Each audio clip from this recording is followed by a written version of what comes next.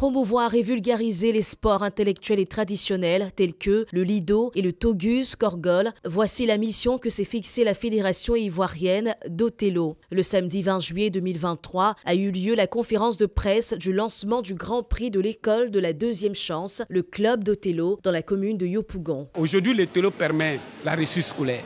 Et je pense que cette division, tous les parents veulent que les enfants réussissent. C'est vrai, ils paient les cahiers. C'est vrai, ils prennent tout le monde. On a des professeurs, on peut avoir 10 professeurs. Mais quand l'esprit n'est pas formaté, vous ne pouvez pas réussir. La fédération a réalisé assez d'exploits avec des champions et vice-champions dans toutes ces disciplines, tous présents pour la cérémonie. Nous sommes partis à l'international pour aller pour représenter la Côte d'Ivoire. J'ai été choisie parce que je suis euh, euh, la championne en Côte d'Ivoire. Donc, j'ai représenté mon pays, la Côte d'Ivoire. Et de là-bas, j'ai été troisième mondial. Et vraiment, je suis vraiment contente pour ça. Je suis vraiment contente, c'est joie pour moi.